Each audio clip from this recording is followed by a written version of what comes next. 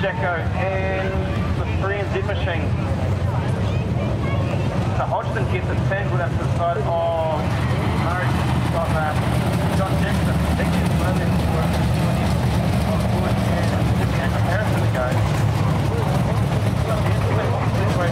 Is H4H Hodgson. Whether the official demon is whether the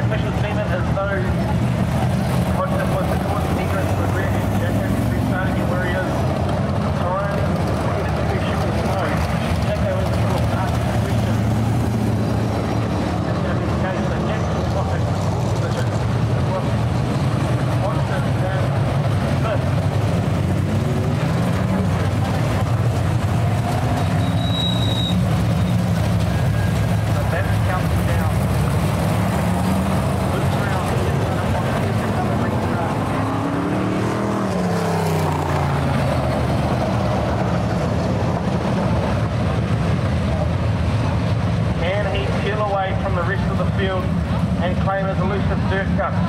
Will the 12 of Caelan have a different answer to him? Will Fox manage to get him in the chance now?